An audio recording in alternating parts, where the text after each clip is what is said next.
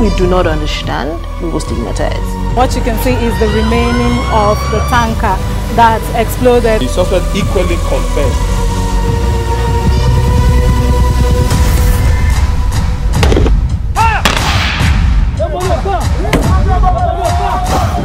Na 500 naira dem collect am. No talk, dem go beat you. Na 2005 I dey pay.